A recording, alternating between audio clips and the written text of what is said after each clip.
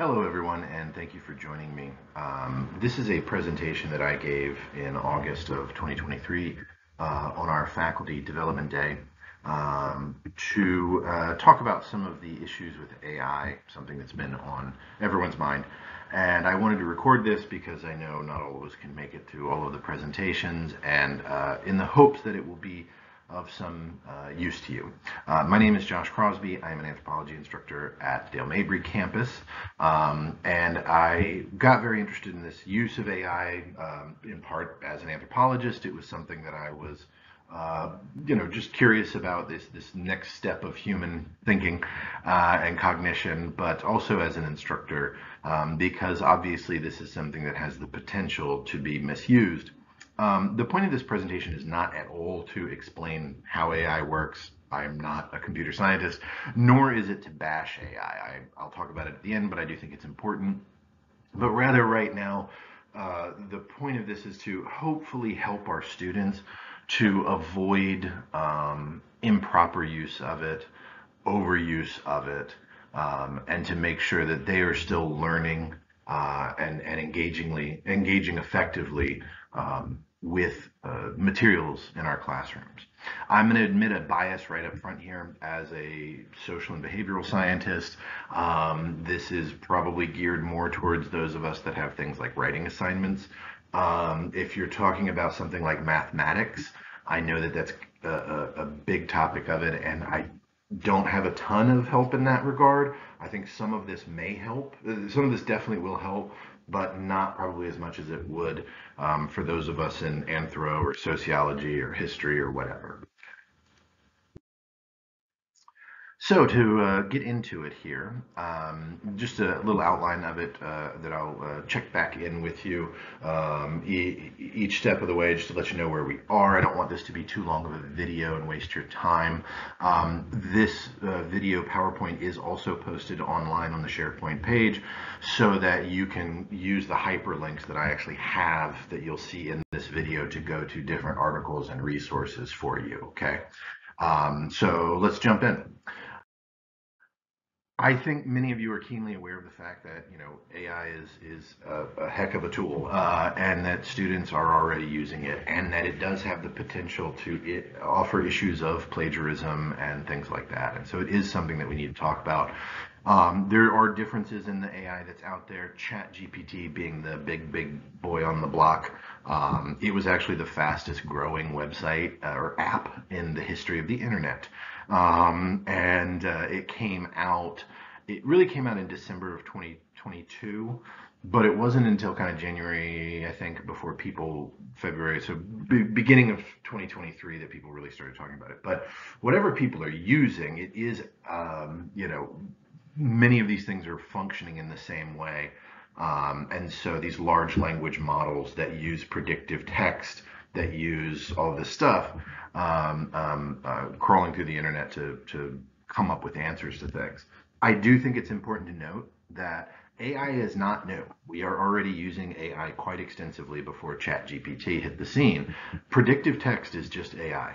Um, so when you're typing in Outlook and you say TH and then it goes thank you very much, you know, and you can just skip to the end of that, that's that's um, that too. Grammarly, which I know many of us and many of our students use, um, uh, even um, spell check in Word. That's AI. Um, so what we're talking about here is the next step of AI, certainly, but we are already using AI. Okay, and so I think that's important to note. Um,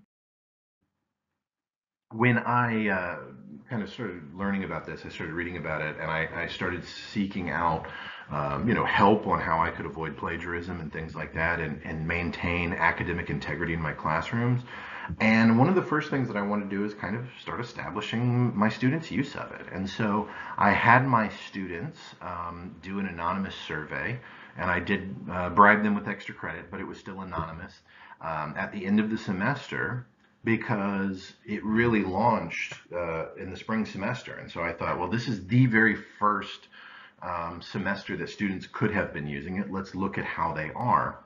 Um, and so I wanted to show you some of the information that I learned. I had 157 students respond to it.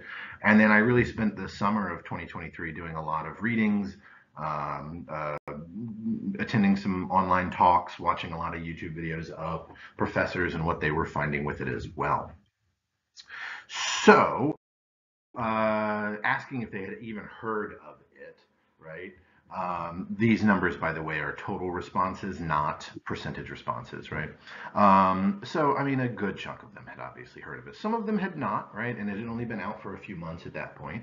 I don't think that that is the case any longer. Um, but uh, most of them had actually, you know, were, you know, a lot of them were already pretty familiar with it um, had of those that had heard of it, because if they hadn't heard of it, obviously they weren't even using it. Um, 64% had used it on a uh, an assignment or an exam or something. You know, even even as I say here, is even if it was allowed or encouraged, that's fine. Um, but of those that had heard it, 64%, so two thirds were already using it by the end of the first semester that it was available. Now, one thing that I actually asked them as well is uh, if you've used these AI powered chats, right? Would you or somebody else consider it cheating, right? Um, again, it was, you know, 27%, you know, had, let me rephrase that, uh, a same amount that said, yeah, it would probably be cheating. An equal amount said, I don't know and that's something very important for us as instructors to think about is that these students need our guidance on this. There is a tool, a resource that is sitting there for them, and they don't know if they can use it or not. And that is a, a problem, right? That is something that we absolutely need to address. I'd also like to point out, obviously, a lot of them said, no, it wouldn't be cheating at all. Because again, this is a powerful tool, and I think many of us are, are finding ways to integrate it into um, the learning process, just like we expect students to use spell check, you know, or, or the library databases. At some point, I think we're going to find more and more ways to integrate this um, in AI. So I'm, I'm not anti-AI. I just, I recognize, I'm kind of middle of the road. I recognize it's got problems, but um, it's a heck of a tool, right? Um, what kind of assignments, right? Um, did they have this for? Overwhelmingly, it was like um, uh, writing assignments, of course, you know. Um, and honestly, one of the biggest things that came out is like, what did you use it for? And it was not to write the paper, it was to generate ideas or to look for sources um, or to look for connections between different things. Um, or to say what sites should I go to, what journals, uh, should I read? What books cover this? You know, that kind of thing. So, um, of the students using it, uh, um, again, I I can't say that they were completely honest with me. I, you know, I made it completely anonymous, but um, overwhelmingly, it was not just like some people just said, like I just made it write my papers for me. There were some of those. Um, others, though, were using it again as kind of a resource and not just um, straight up plagiarism or cheating or whatever you to call it. Um, what was the quality of it, right? Um, 86% said that it was mostly or highly effective as to what they wanted. So again, that's going to encourage use, we have found, because if they use it once and it kind of sucks, they're not going to go back. But, you know, over three quarters of them said that it was mostly or highly effective, meaning, okay, those students have now learned that they have another uh, tool in their toolkit. How likely are you? Uh, you know, 40% said somewhat or very likely um, uh, to use it in the future, right? Um, so that's you know a pretty good chunk, um, uh, uh and so we'll kind of have to see how that plays out. I think that that number is going to frankly go up as students get more familiar with it. Uh, do you think it's important for professors to use it? 40% said yes, it is. It is important, somewhat or very important for um, professors to use it. Again, I think that young people are noticing, uh, um, students are noticing that this is, you know, the tools that are going to be used in the 21st century.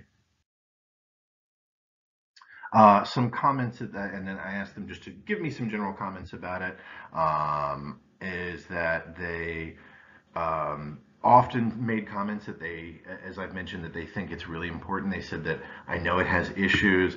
I hope my professors teach me how to use it because I think it's helpful, but I don't know if I'm using it right and things like that. Um, they they overwhelmingly really reached out for guidance, and and I think that goes back to uh, what I said before about you know students not even knowing if it was cheating to use it and stuff like that. Um, a lot of students talked about um, really needing um, a, a, a, guiding hand to understand this thing, how to use it, what its capabilities are, what its shortcomings are, things of that nature. So let's talk about uh, some of the problems with detection software really quickly here.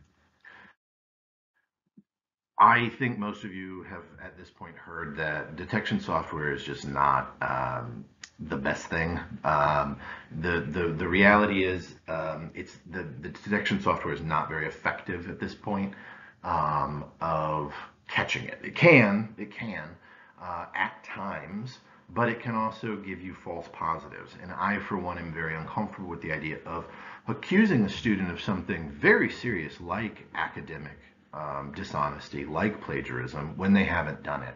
I think that that's going to potentially really hurt them uh, in their educational career, and it's going to really damage my relationship with my student. And so I am not particularly comfortable with these. Um, I think that they're, again, a resource. If we think someone used AI, um, I have told my students I will run it through three um, AI detection programs. And if two of the three say it is, then we're going to have a conversation, right? Not necessarily that I will completely trust it, but just that we will have a conversation. Okay, uh, and so you know this is this has been happening. I'm sure some of you have seen these articles that, um, and and I've seen a lot of things on message boards of, you know, um, um, Reddit and TikTok, Snapchat, um, you know, 4chan, where students are reaching out to other students, going, "Hey, I got accused of this thing and I didn't do it. I didn't use AI. Um, how can I prove it?" right? Uh, and so, excuse me, my apologies. I do think it's kind of a serious problem that we need to to be very very careful about. And what we're going to talk about next is the fact that I think a better way to address this is by building assignments where it's more difficult to use AI rather than hoping AI detection uh, can make up for those shortcomings. With that said, um, there is, uh, um, from everything that I have read, these are the most highly sort of rated um, uh, AI detection software programs out there. Um, um, I, again, I've posted this PowerPoint so that you can just kind of go to these. Um, the, the, these sites if you'd like to check them out. The originality one, uh, all of these are free except that, but it's uh, the one that people really report the best. Um, uh, you know, I, I don't know if that's something that someone wants to pay for right out of their own pocket. Uh, I don't believe that there's any kind of resources from the college to do that. Um, but I just wanted to mention it that that is the most popular. Um, Turnitin on Canvas does have um, AI detection. I haven't really heard much about its quality. Um, I've been using it and I don't know that I can really speak to that either at this point. Um, but if you you know don't know how to use Turnitin on Canvas, I'd highly encourage it. Uh, I know some professors feel that it's intrusive and an invasion of a student's privacy, and it it builds a relationship where you come in saying I don't trust you. I respect that, and I do understand that philosophy. I do use it because I find it very helpful and I find it um, discourages students from just out and out, you know, plagiarizing or buying a text. Or what's I find super common is, you know, um, a couple of friends taking the class and then just sharing each other's papers, you know, things like that. So, um, but it is on there, you know, uh, and so that's one resource that we can use, right? Um, spotting AI papers, right? Um, uh, just when you're reading a paper trying to spot it.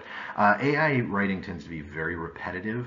Uh, because it kind of just comes up with this list of ideas. The first paragraph, second paragraph, third paragraph tend to be the exact same thing, just reordered. I know, however, that you know a lot of our students who maybe didn't do all the readings, their papers look a lot like that too, right? Uh, but if it's highly repetitive, they've got like three points and they just keep rearranging how they're stating that. That's one of the things that AI does often. Um, AI writing is often very general. Uh, the way I like to say it is AI is amazing at writing a Wikipedia entry, right? That overview of like, what is psychology? you know, or um, you know, you know, why do you know, whatever, you know, like what, you know, what caused World War II, right? That that intro before it gets into the meat of it. Um, AI is really good at that, but it's not really digging in much past it. You can ask it to through repetitive queries of, of getting it to drill down, but that becomes much, much, much more difficult if you don't know what you're already asking for in a lot of ways, right? Um, it also, this is what a lot of researchers are calling hallucinations. It just makes stuff up, right? And so it it will say just very odd things that are inconsistent um, with reality of um, it will it'll say things like you know when the U.S. entered World War One, um, Israel was already a part of the conflict. It's like, well, Israel wasn't even a country then. It, that's an example that someone used online that they found it doing, um, and things like that. And so, you know, just reading those papers and like, if something comes out of left field uh, and has just nothing to do with anything else, uh, that can be part of the problem too, because of again.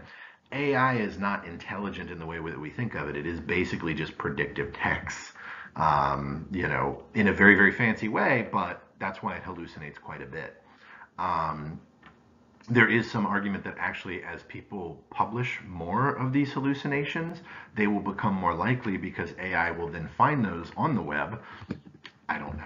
Uh, another thing is to check the metadata. Uh, and so I have an article that is going to talk about this more in depth uh, than wasting your time here. But basically, um, um, the copying and pasting these things now, uh, some of them actually have you could think of it like a watermark for print. And so if you go into the file itself, uh, obviously this doesn't work if students are handing in a print copy, but if they are posting it on Canvas, like I think most of us have now, the metadata in that will sometimes say generated by ChatGPT, right? And so there's an article on here that in the next slide that'll show you. Um, and so that, that can be a good thing to check as well, right? Um, other common mistakes, uh, overuse of the word the, it, and is. Because those are such common words in English and it's using a, a, a sophisticated uh, predictive text model, it, it will throw those in there when they're really not appropriate. It will have no typos, no abbreviations, no slang, no colloquialisms, none of that.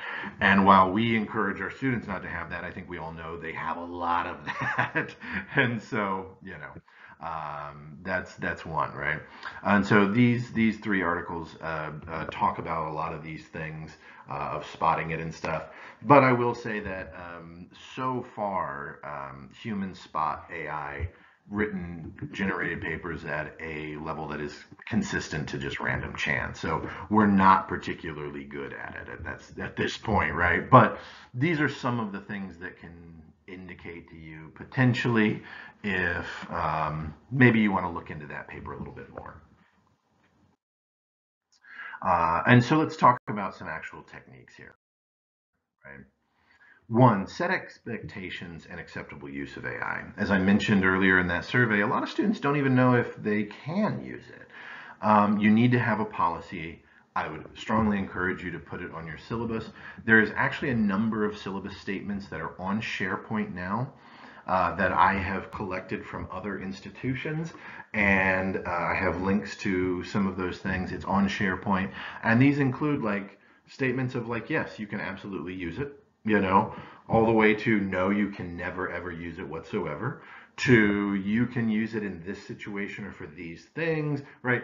I understand that a lot of professors have different feelings on this and you have that academic freedom. And so there's a lot of different statements on there, but you need to set those expectations and to let them know, um, you know, what is and is not going to be okay in your classroom. Another thing that I would really emphasize, even if you want students to use it, you know, and certainly if you don't want them to use it, is explain the shortfalls of it. When this first came out, I think many of us heard the gloom and doom. Uh, people saying that we're going to have 40% unemployment in a year because AI will do everything, and and it's going to be the end of society. And uh, even a, a great scholar who was one of the first people that worked on AI was like, we need to ban this and stuff like that. Um, uh, I, I, think that all of those were a little bit hype, um, and and time is proving that. Um, I also think that um, um, you know people maybe overstated its abilities, right? AI will make up fake sources. I actually got it to do this by asking it to generate um, uh, a, a literature review on topics that I have done research on for like my PhD. And I actually got it to make up a fake article from my dissertation advisor because I know his work very well and he never wrote a paper like that. Um, uh, and and a lot of people have done that actually. They've they it's just made up a bunch of things, right? And so explain that. You can show them examples of that. They're all over the web, right? And say, you know, it's gonna make up stuff. It's gonna, you know, pretend, you know, uh, in terms of sources, and it might even do these hallucinations where it just makes up utter nonsense and it, it talks about you know as an anthropologist it talks about some culture that lived in uh, the amazon and it's like they lived in southeast asia. What are you talking about? You know um, that it has these repetitive ideas that it really doesn't have um, depth that it doesn't have specificity right? That it comes up with that general wikipedia overview and then it just keeps repeating it over and over again right? So i think explaining those shortcomings is very important whether you want your students to use it or not. Um, let's talk about crafting some good assignments here and assessments to avoid um, maybe the overuse of it. What AI does poorly, uh, and thus how you can craft your questions. It does not do well with like nuanced relationships between variables, right? And so comparing X and Y and the relationship between, say, um, uh, race and ethnicity with public health or education levels um, with uh, child raising practices, whatever. I'm sure you can think of examples in your field. It doesn't really do that well, right? To understand things that are maybe not 100% clear, um, uh, and, and you kind of have to think through a little bit, right? Revisions in the writing process. So, you know, uh, uh, saying like, hey, I'm going to do corrections, right? You uh, turn in the first draft, we go through it, that kind of thing, right? Self reflection. Obviously, it doesn't know how to do that. Personal experiences. Uh, this is something I do a lot of. Hey, we're studying this thing. Tell me how this relates to your major. You know, um, tell me how this is going to affect your career path, this idea of X, Y, and Z, you know. Um, and so making it very personal means that um, you know it, it, it, just becomes much more difficult for it to come up with anything right um, another thing that i have done is say um, hey give me you know pick two quotes from this chapter you know that are one to two sentences long and tell me why you think those are really important ideas again a lot of these things you can with enough work get chat gpt to do it. But it requires so much work and the, the crafting of prompts and the re-entering of prompts and the asking for clarification that um, you know you could get it to do it but it might just be easier for students to do the assignments you know? Uh, and so asking for them like you know from that chapter right or from that article give me two quotes from it and you know whatever analysis of visuals video and other multimedia honestly, this is probably something that in the coming years it will be able to do, but it currently can't. And so it's basically just kind of going through print things on the internet, right? And so if you're putting up, say, in a, a 20th century history class, and you've got examples of, you know, propaganda posters used in the US, Russia, Germany, and asking students to compare them, ChatGPT will not be able to do that at all, right? There, there's nothing that it can do about it. Or looking at advertisements, or um, things like TikToks. Um, I know there's a lot of people that sort of, um, you know, poo-poo it, but the truth is, um, young people are already using TikTok, and there's a lot of scholars on TikTok, and there's a lot of information on TikTok that's really great. There are numerous um, um, highly accomplished scholars on TikTok or for that matter Instagram or you know those kinds of things um, that are posting to try to disseminate knowledge about their field and their discipline that I think you'd be surprised at the quality of them if you just do a little bit of research. And um, not only can AI not do that, I'll also add as an aside, I have found that students get really, really excited about that. Um, when I ask them, instead of just reading the same old article, like find me a, tic, you know, find me this YouTuber, look at this YouTuber, or find a YouTuber, or whatever that's talking about these topics, and you know do whatever with that that work. Um, they get really excited I, I, find when you do that right? Um, sustained analysis of a long text um, typically book length it doesn't do well um, but um, you know it can be a little bit shorter again that's probably more for those of you in the english or the literature side of things uh, but ai doesn't do great with like that continued analysis. Again, instead of just the intro, but yeah. Uh, analysis obviously based on lecture or discussion, right? Um, we talked about uh, X, Y, and Z last week in class. How does that shape your understanding of one, two, and three, right? Those kinds of things um, are really, really helpful, right? Or, or saying, you know, looking through the discussion board posts, what were the most effective strategies that you had? whatever right uh, analysis of recent events and again this is another one that will continue to change um, i believe the chat gpt model it went uh, it was built around um, information that was only as current as maybe 2019 or 2021 i can't remember now um, and so things that have happened since then it doesn't really have a record of. And so, if you're in a political science class, you know, maybe uh, the recent election of, or the recent uh, uh, Speaker of the House, or the whatever, you know, or um, this recent social movement, or this recent, you know, whatever things that are happening right now. Again, there's also a lot of research data. I'm sure you, you many of you know that doing that is also more, way more engaging with students because they're like, man, I, I've heard about this and people are talking about this and somebody else mentioned this. And it just kind of fires them up that it's relevant, it's right now rather than, you know, uh, oh, analyze this thing that happened in 1971, which might as well be like the sixth century to them, right? Uh, so, so that, that, you know, focusing on recent events uh, engages students more and it prevents AI from really um, doing much with it. Um, another way, another uh, good technique is to basically um, track changes. And there's an article, this article right here actually explains it, whether you're using like uh, Google Docs or Microsoft Word or Apple Pages, right? Um, basically, it, it, it, it's saying that you can use track changes to try to um, be able to go back and look um, to see if students were working on this over time, if they were correcting it, if they were spell checking it, all of those kinds of things, compared to if they are just copying and pasting out of AI, you are going to see blank document and then one second later there is, you know, 3,000 words and they are perfectly formatted and there are no typos and there are no abbreviations and there's no, you know.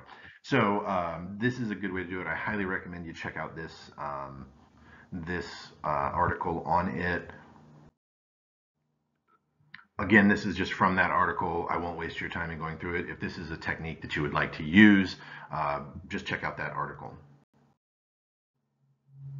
And the same goes for, uh, for these. Another thing that can be really helpful, and I know that this is more limited now since post um, COVID-19, you know, many of us are seeing that a majority of our classes are now online. Students moved online and students like being online. Uh, however, if you do have an in-person classroom, um, is the idea of flipping the classroom, which is the idea that, um, to put it simply, is that, you know, in the classroom, you're lecturing, talking, explaining, demonstrating, and then they go home and they're doing an activity, they're writing a paper, they're solving those problems, right? the idea of flipping the classroom is have them go home and record your lecture just like this, just like so many of us had to do during um, quarantine. And then have them come in and do those quote unquote homework activities with you in the classroom, whether it's math problems or it's a writing assignment or you know a discussion board post or whatever it is, uh, instead of you lecturing. Right? There's some really great resources um, out there. Uh, this is uh, um, information from the University of Washington. The book that I read that really um, opened my eyes to this was Flip Your Classroom. I highly recommend it. You can find it on uh, Amazon for pretty cheap. Uh, and I think it's a, a, heck of a technique. It gets way more in depth than just this kind of simple thing, and it gives examples uh, in different settings and different situations and stuff like that. Uh, and so I'd encourage you to check it out. Another thing you can do is break up the writing assignment, right? Um, rather than by the end of the semester you're going to turn in a you know 10 page paper to me. It's like okay you know this date you're going to give me a topic and a thesis and then this date you're going to give me academic sources and on this date you're going to give me a bullet pointed outline and then on this date right? And so however you choose to break that up first draft second draft final draft whatever it is um, again ai does very well writing a complete thing. It does not do as well um, which is not to say it's impossible, breaking up a writing assignment. Like, write me half a paper. you can convince it to do that in ways, or you can get it to write you a whole paper and then like delete parts of it and stuff like that. Again, this is not going to be foolproof, but any step that you can add to students being able to use AI effectively uh, as a cheating tool is going to encourage them to, you know, be a little more honest about it, right? And again, there's some there's some uh, resources there for that. Um, one of the most important things that I have found is just asking very detailed and specific questions. So I spent a, a good part of the summer just um, messing with AI and playing with different AI softwares and things, and taking all of my test questions and throwing them in there and stuff like that. Um, very general questions. Are quite easy for AI, obviously. And so things like uh, I show my students a film, um, and you know what were the major findings of Napoleon Chagnon's work among the Yanomamo, which is a culture in South America and the Amazon. AI gave me a perfect answer to that question. Um, it was absolutely perfect. Um, I'd give it an A every day. But I kind of restructured and said Napoleon Chagnon claims that Waiteri or fierceness is important to understanding the behavior of the, the Yanomamo. What events led him to this conclusion? How does that characteristic shape their culture and behavior? This, it clearly did not understand what to do. It, it was just, it, it, gave me basically the same answer as before. Like the Yanomamo live in the Amazon and I was like, that's not, you know. And so, really specific, really specific, really specific is going to be um, much, much better um, uh, um, a, a, way to craft these things. Again, the same is true of sort of um, uh, multiple choice questions of, you know, um, you know, which primate has the largest body mass, like that, just like Google. I mean, in that way, you know. So it's going to be really easy for those. Um, another thing that's really important is um, uh, is you know hands-on learning and engaged projects. And so one of the things that I've done is had my students do like quote unquote field projects where um, they either have to go to the zoo or they have to log on to websites that have live camera feeds on like gorillas or chimpanzee enclosures when we're talking about primates and human evolutionary history. And I say, okay, you have to watch this for an hour, describe you know these different criteria that we go through and, and all of that, you know, that, that you see them doing. And, you know, um, that makes it much more difficult. Now, yes, you can, again, convince um, ChatGPT to fake that, but it's actually much more difficult, I find, right? Um, especially because a lot of times students don't quite know what they're looking for. Uh, and so they can't say, well, I didn't, I saw the, the chimpanzees do X and Y, but not Z. Whereas ChatGPT just says, well, they can do all those, you know um, or having my students like uh, you know pick I'll, I'll, have them pick a family member to go go to their social media and take 20 posts right? Um, uh, you know what's their age, how many times, what kind of information are they sharing, what kind of slang terms do they use, what kind of, you know, and we talk about like language use and sociolinguistics among generations and things like that. Um, that's not really something that this is going to be great at, right? And so those kinds of things, that hand-on, hands-on, the engage projects, stuff like that, um, are an excellent, excellent way to prevent kind of the overuse of AI. Um, you know, especially for online learners, though, I know that many of these things might not always work. So, two resources that I want to talk about is the um, Association of College and University Educators, ACUE, through um, CITT. Uh, I'm in the middle of my third class right now. Uh, they have a four uh, four class sort of modality that uh, guides you through like really best practices for online teaching. Uh, if you have not taken these courses, I cannot recommend them enough. They're wonderful, wonderful courses that really give you a lot of information about connecting with your students and making good assessments and engagement and stuff like that. And again, the more engaged we are with our students, the research has found that we are much more likely to uh, not have issues with plagiarism or cheating or stuff like that. Uh, when students like their professors, when they respect them, um, they don't want to let them down, right? And so I think that's an important part of this as well. Uh, another wonderful book that I uh, really enjoyed is Small Teaching Online. Uh, I found this really um, helpful. Um, you know, educators again talking about kind of the best practices, building community, uh, building connection. Highly recommend the book. Again, you can find used copies on Amazon for pretty cheap. So. Um, lastly, I want to talk about kind of using AI in the classroom. I do think that's important for us to acknowledge that this is going to be the tool of the 21st century. I think that we do need to integrate it. I think that our students want us to, and I think that they need us to, because many, many jobs now, I don't think they're being replaced by AI. Uh, some might, but you're going to be able to use this as um, you're going to need to use this for productivity and efficiency. In the same way that every single human being that has a job now that requires math in that job they're going to use a calculator. And so you know I, i'm not a math professor and i don't want to make my colleagues mad at me right? But you know back in the day saying like well these calculators you you, you know you can't use them well the reality is knowing how to use a scientific calculator properly is a skill that students need right um, I think knowing how to use AI, whether they're doing coding or whatever else, I think knowing how to use it properly and spot its limitations is also going to be an important skill. So I think that we need to limit our students uh, using this tool improperly, but I don't think that we need to just say, well, this is evil and it should be banned. I'd also like to point out, as an anthropologist who's done archaeological fieldwork, no technology in the history of human beings has ever been banned, not once. Um, I mean, nuclear secrets got out, right? Uh, uh, uh, I'm sure we've all heard stories. There's guys that have built like uh, nuclear reactors in their backyard shed. you know, no one has ever banned banned, frankly, anything, whether it's a technology or a behavior or an idea or whatever else, right? Uh, so this idea that maybe we shouldn't be, you know, like we, we should just get rid of it. We're not going to be able to. That's not how these things work. Um, likewise, I know some people are like, well, maybe we shouldn't talk to our students about it because we don't want to, you know, whatever.